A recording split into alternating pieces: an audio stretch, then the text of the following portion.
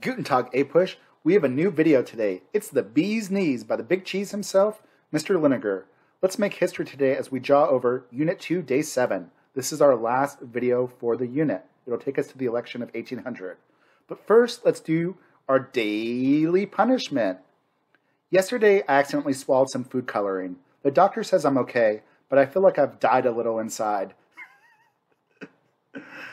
died a little. Your key terms for today Neutrality Proclamation, the Genet Affair, Impressment, Pinckney Treaty, Jay's Treaty, the Farewell Address, John Adams, the XYZ Affair, the Quasi Naval War, the Alien and Sedition Acts, the Convention of 1800, the Virginia and Kentucky resolutions. There we go. We're going to talk about Washington's foreign policy, the birth of political parties and what and what each party supported, who they supported. We're also going to talk about the foreign policy issues under John Adams and his quasi-naval war with France. And we'll talk about the domestic effects of John Adams' presidency. So let's talk about death. The French Revolution is going to happen in around the same time as the Constitutional Convention. The French Revolution was around 1789 at first, a lot of Americans supported the French Revolution, uh, but over time, some of the radicals in the French Revolution will take over and they'll start executing thousands of people. They'll guillotine them to death. Some of the American leaders, like Washington and Hamilton, will be like, yo, the French are going freaking crazy. They kill the king, they kill the queen, they start killing everybody. It's not moderate like the American Revolution was. Thomas Jefferson is going to say a little bloodshed's not that big of a deal. Washington at first is going to have to make a decision. Under the alliance system between America and France, um, America was supposed to support France. At this time, France is going to go to war with like Britain and stuff. And some people like Jefferson will ignorantly call for America to go to war, even though they had no real army or navy. Hamilton was like, look, bro, we have no army and navy, and the French are going freaking insane. They just killed their king and queen. Washington's going to have to make a decision. He's going to agree with Hamilton because he's smart.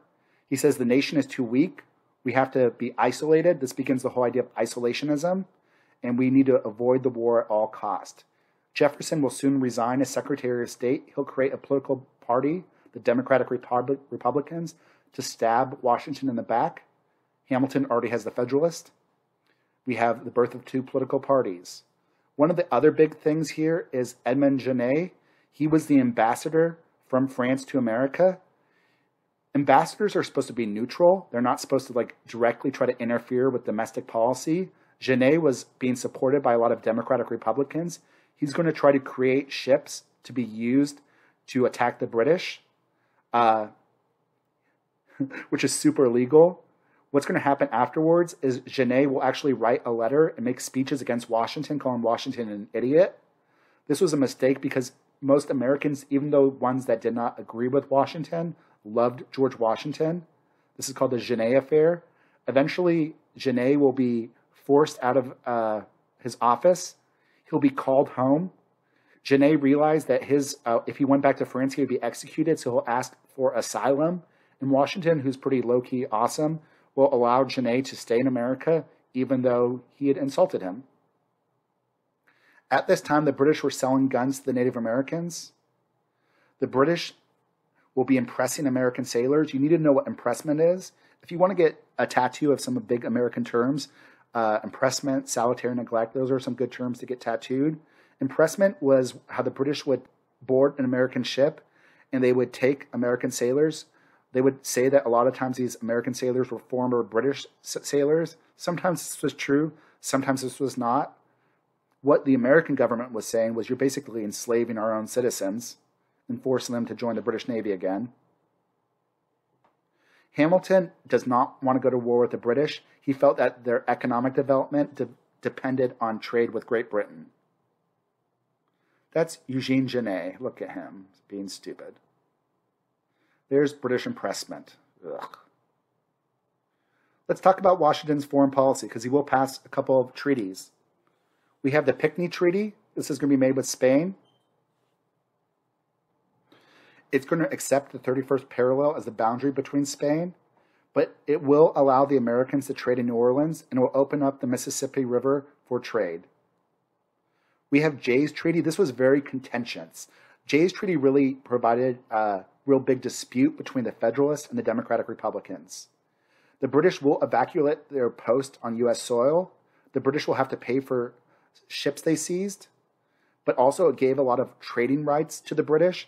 Uh, the British do not have to stop impressment, and it really uh, the Democratic Republicans argue that basically the Americans like gave way too much to the British. So this will be a big political issue. George Washington is going to decide by 1800 uh, not to run for a third term. Hamilton argues for him to run for a third term, and he's going to say, "Nah, I'm done. We need to have a functioning democracy." So uh, Hamilton is going to help write Washington's farewell address that he gives at the end of his presidency.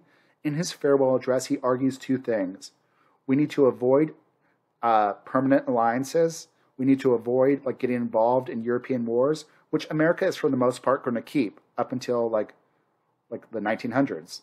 And also, we need to avoid political factions, which we never follow, because by this time we already have two political parties. There's the Pinckney Treaty right there. And we're going to talk about the next president, who was also a Federalist, although he was no friend of Alexander Hamilton. His rotundness, that's how the British described him, John Adams. John Adams is going to beat Thomas Jefferson in the election of 1796, because uh, Washington was from 1789 to 1797. Um, so John Adams was elected in 1796, becomes president in 1797 he'll beat him in a really close election. At this time, the person that had the second most votes became the vice president. We didn't have it at this time uh, where like you ran as a ticket. That won't be till the 12th Amendment. So Thomas Jefferson, who was opposed to Adams, will be the vice president, which is not very good for unity. John Adams was tactless, he was prickly, he was an intellectual, he had no appeal to the masses, and he thought he was the only one that knew anything. During this time, this is going on. Uh, Adams will be president during the French Revolution, where France is at war with most of Western Europe. France will seize more than 300 American ships. America just wants to be able to trade with any country. America is going to send ambassadors to France to get them to stop seizing their ships. The French foreign minister, Talleyrand, who's actually a pretty genius guy, is going to refuse to even meet with the American negotiators unless they give him a bribe what's going to happen is the American ambassadors who were uh, basically rebuffed from even like meeting with Talleyrand, they're going to send a letter back. The negotiators will send a letter back, basically saying that the three negotiators they'll use their code names X, Y, and Z. They'll describe what happened and how like they were refused to even be able to meet with the ambassador unless they did a bribe. This is going to outrage the honor of the American spirit. They're going to say things like millions of dollars for defense, but not one cent for tribute. Under Adams, he's going to create the modern Navy, he'll create the Marines. And instead of taking a bribe and giving a bribe to the French, we're going to have an unofficial naval war against the French. This is called the quasi unofficial naval war. There's the XYZ affair. Dun dun dun. Look at the evil French with their three heads.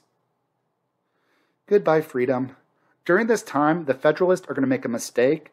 They're going to use this time and the popularity of the quasi naval war to try to persecute their political opponents. They're going to pass the alien laws, which allows them to deport dangerous foreigners, and it makes it longer for you to become a citizen. It cr- increased the naturalization process.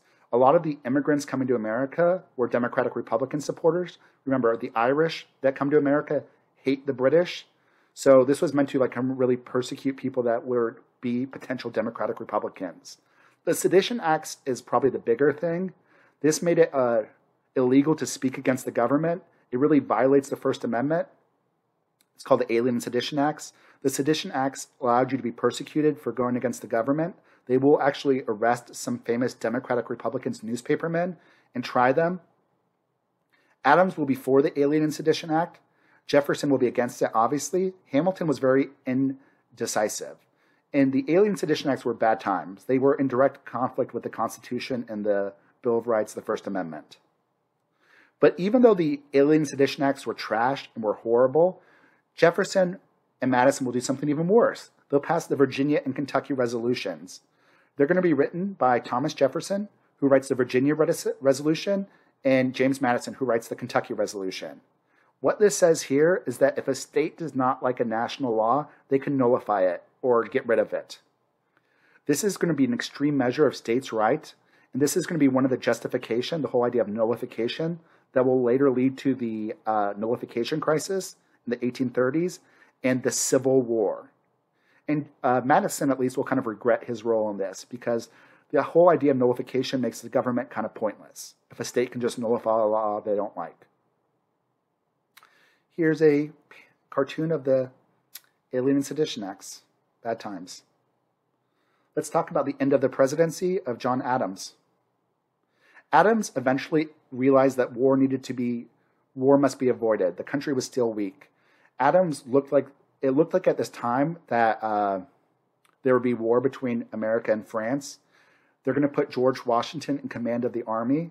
Washington said he would only fight if Alexander Hamilton was his uh, right hand man. Yeah, if Alexander Hamilton was the major commander and he would be really the one in charge of the army.